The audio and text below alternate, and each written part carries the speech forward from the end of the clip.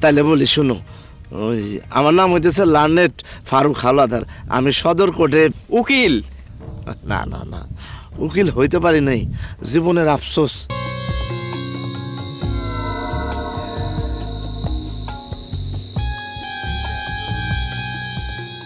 High high high high তোর এই অবস্থা কেডাই করল?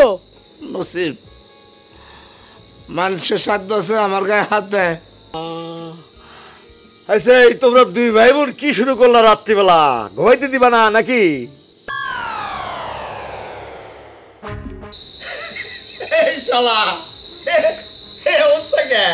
এই সাদার এই খাদার মধ্যে কি সাদার কাটতো নাকি? বুঝে ওনারা যাইতে বলো আমার মাথা কিন্তু গরম হনের তালে আছে। টের তো পায় না। ঠ্যাঙ্গের উপরে ঠ্যাং তৈলা ঘর জামাই হয়ে বৈশা বৈশা খায়। ফারুক ভাই! কে? ফারুক ভাই! কই যাইতেছেন ফারুক ভাই? কোর্টে? হ্যাঁ কটে যাচ্ছি। আপনার হাত চোখে কেন? হাত সরান! মানে গতকাল হয়েছে কি ওই স্লিপ কেটে পড়ে গেছিলাম এই একটা গ্লাস ভেঙে গেছে। এখন এক চোখে এই কম দেখি এক চোখে বেশি দেখি। দেখেন সহবত ভাই আপনি হইলেন আমার মামাতো ভাই। আপনি আমাগো বাড়িতে আইছেন আমরা বড়ই আনন্দিত। আমার কথাবার্তা হাসি ঠাট্টা করার মতন মানুষ নাই। আর আপনি কি না? আমি তো তোমার বড় ভাই। তোমার লেখাপড়ার খোঁজ খবর নেই একই দোষের? তার জন্য মাস্টার আছে। আপনি তো লজিং মাস্টার হয়ে আসেন নাই।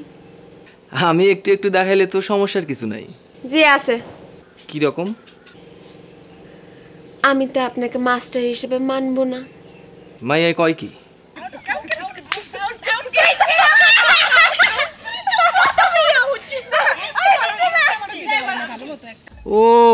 তাই তো কই? সকাল থেকে ফরিদা বানু বাড়িতে নাই কেন? এখন না বুঝলাম ঘটনাটা কি? দেখেন শরবত ভাই আপনি ভালো ছাত্র। তাই আপনি গিয়ে লেখাপড়া করেন। আমার যা কাজ আমরা তো তাই করব তাই না? শরবত? এটা আবার কেমন নাম?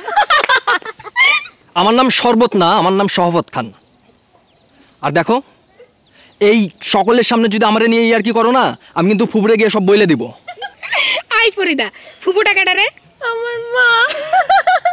ও এইটা তাহলে। তোর মামা তো ভাই? ও বুঝছি। সব ফাঁকি বাজ এক জায়গায় হয়েছে না? তা তোমাকে কার কি নাম? ওর নাম রাবেয়া। আর ওর নাম রানু। আর আমার নাম ফরিদা।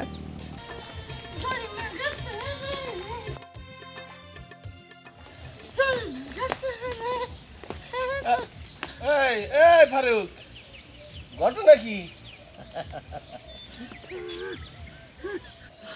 প্র্যাকটিস জমে গেছে কাকা। প্র্যাকটিস জমে গেছে। সেই জন্য গ্রামে এসে ফাল বারণের কি ইলো কাকা প্র্যাকটিস তো খালি সদরে না গ্রামেও আছে। কথাটা ঠিক বুঝলাম না তোমার। শোনেন আপনারে এক সময় নিরিবিলি জিনিসটা বুঝায় বলব। এই আপনারও বোঝার দরকার আছে। হ্যাঁ, লালনেট ফারু যদি ঠিক মতো যুক্তিতর্ক দিয়া জিনিস বুঝাইতে না পারে, তাহলে কি মামলায় জিততে পারবে? পারবে না। আমি এখন যাই, পরে আবার দেখা হবে। আসসালামু আলাইকুম।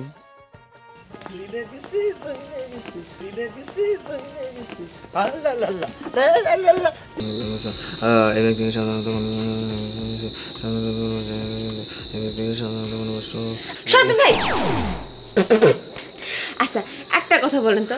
আপনি যদি ভালো করে পাশ দেবার পারেন হ্যাঁ? তাহলে একটা ফেল করা মায়ারে কি বিয়ের প্রস্তাব দিবেন আপনি?